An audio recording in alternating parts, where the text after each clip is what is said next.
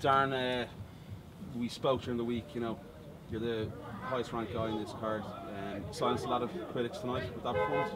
Yeah, I felt like uh, I've been around for a long time. Um, I've been, you know, winning losses. I've been going back and forth, and uh, I'm trying to put together, change up my training a little bit. Uh, did go to Alpha Male for a little bit, trying to work on uh, improving my game overall, and uh, I felt like today was a good performance.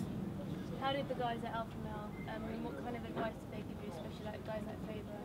Um, you know, the big thing that I really worked on is uh, footwork and uh, angles, and you know, we've been working with that Dillman, but they kind of showed me some tricks I really used in there in the fight, and uh, closing the distance with that stuff, and just compete with the top level guys day in and day out, and have to go through that grind with those guys really bring you up to another level of uh, conditioning, and another level of athleticism. Do you think your experience gave you another edge over Rob tonight? Yeah, I do. I mean, I've been around for a while. I fought all those top guys. I fought, you know, Mendes. I fought Stevenson. I fought a bunch of guys that's been in the top 10. And uh, I'm used to being diverse in those fights. You know, he hit me with a couple good shots, and uh, I think that uh, how I recovered and he keep coming forward and hit him with my own good shots really surprised him, and uh, really wore him out in that fight.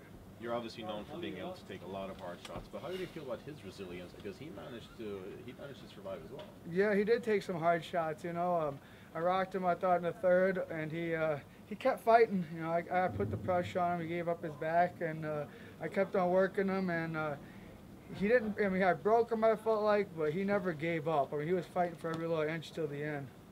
Did he surprise you in any way, or did it kind of pan out how you expected? I'm not gonna say it panned out how I expected it. I mean, how I expect, how you want it in your Yeah, head to you come want in it, there. yeah. but you know, uh, how I seen him going, I knew he had the power.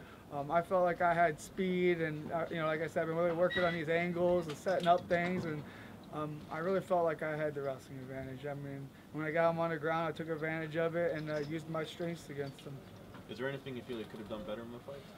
Uh, you know, I reached a couple times for some of those uh, strikes. You know, I'm still tightening up my strikes, but I landed some good ones. Um, I still got some work to do, but I feel like I'm making improvement, and I felt like I landed some hard shots, not so many arm punches this fight. You said that you need an opponent to get you back into the top 10. Who do you think makes most sense for you next?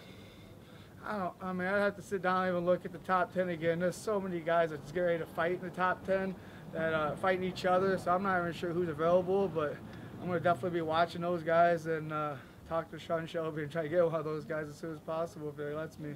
in, in the lead up to the fight, Rob Whiteford was saying that if you were going to wrestle him for 15 minutes, he wasn't going to be very happy about that.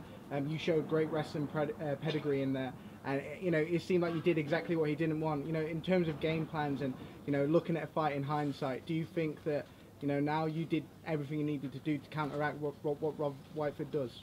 I mean, he landed some good strikes. He, I mean, I mean, but I landed some good strikes. He can't say that he just went out there and uh, I, was striking with them all the way to the end. But like I said in my interview, I'm not afraid to go out there and go with my strengths. And uh, if I feel like this is an advantage where I'm going to be have a huge strength, then I'm going for it. And I did have a huge advantage in that position, and uh, I got the fight done. And uh, I rocked him. He hit me with some good shots.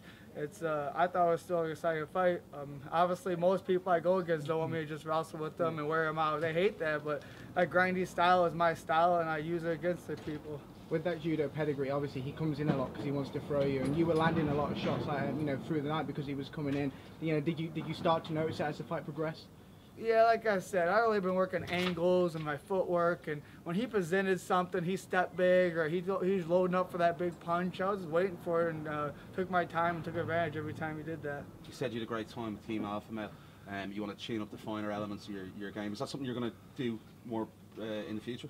Oh yeah, I think I'd like to do it again. I mean, I, I think uh, I'm not sure about training camps and stuff like that, but I got a good relationship with those guys, and uh, if I can, I like to go out there and spend time with them once in a while. You know, just get different looks, and I think that's something I'm gonna really need to do to bring me to the next level and have uh, different guys and a lot of different options.